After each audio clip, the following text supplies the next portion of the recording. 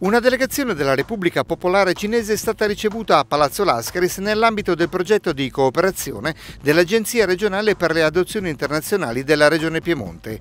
Nell'incontro è intervenuta anche la vicepresidente della Commissione per le adozioni presso la Presidenza del Consiglio dei Ministri, Daniela Bacchetta. È stato ribadito come l'adozione internazionale non sia l'unico strumento per aiutare i bambini in difficoltà, ma l'ultimo passo da considerare qualora non si possa aiutare il minore nel suo paese d'origine.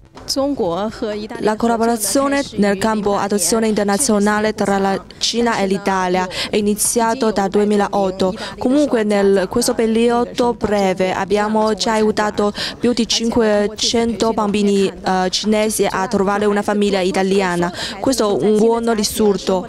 Comunque uh, crediamo che anche in futuro questa collaborazione sarà avere un uh, migliore prospettiva. Comunque abbiamo un principio comune di tutti i bambini deve, devono avere una famiglia. Eh, la Cina è diventato un nostro partner molto importante a cominciare dal 2009 quando ci sono state le prime adozioni e adesso ogni anno si sta rinforzando sempre di più questa collaborazione tanto che a questo punto siamo arrivati nel corso di questi anni ad arrivare a 5, più di 500 bambini adottati dalla Cina.